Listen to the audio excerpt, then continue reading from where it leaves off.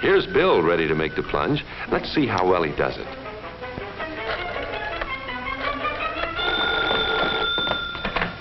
Hello? Hi, Helen. What are you doing Friday night? Yes? Yes? Who is this? Ah, the days before online dating. Oh, Bill! Well, hello. At the time when awkward phone calls were considered the first move, in 1959, two undergraduate engineering students at Stanford University, Philip Fialer, there in the plaid shirt, and James Harvey, developed one of the earliest computer matching dating programs. Marriage planning service, we call that. That was a bit tongue in cheek. I don't think anybody took it too seriously. No, in fact, it was very novel at the time. They got an A for the project, which they created for a computer science course. The uh, class was centered around the IBM 650. What took us six hours to do for our project would take about two milliseconds on your current desktop computer. Yeah, the program could be up to 2,000 instructions long.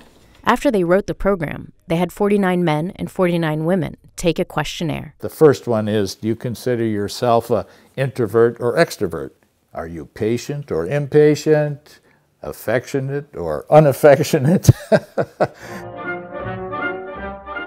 the best matches were made first, and then from the remaining pool, the next best match was made, and so on. At the end, it was down to one man and one woman, so it matched a Stanford freshman with a 40 something divorcee with kids. That relationship probably did not go far. The computer matching was followed by a party. The uh, couples who were matched were invited. One of the topics of conversation was how honest we were on our questionnaires. and the same thing is true with online dating today. It's impossible to know whether someone's picture is accurate or a profile is honest, but people are still doing it. Maybe we were a little too early and we'd done it a little later when computers were not so balky. Maybe we would have decided, hey, now there is something to this.